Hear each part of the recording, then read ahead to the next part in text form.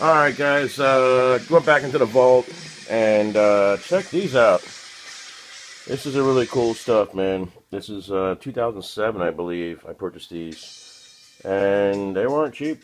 They weren't cheap. Buckethead sign, number 23 of 100. Actually, these paintings were a little weird when I first got them, but now I've learned to treasure them very highly. Um, this one is really, really neat. I just can't tell you, man, how much I respect his work. Buckethead again, 30 out of 100. Uh, let's see. You notice I got all my bench tapes holding everything down.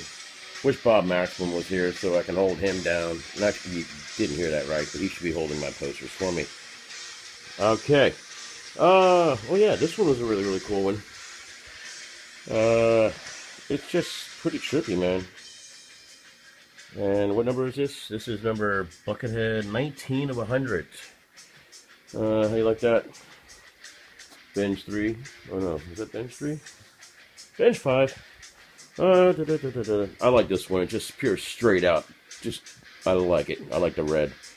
Um, I'm doing the best I can to view these posters, but they've been put away for five years, six years. Buckethead number 27 out of 100. Um, it's that's they're, hard to unroll. this is my favorite one out of all of the five posters. It's just really badass. It's really badass. Um, again, Buckethead number 35 out of 100. And there's another guy over there waving to his friends.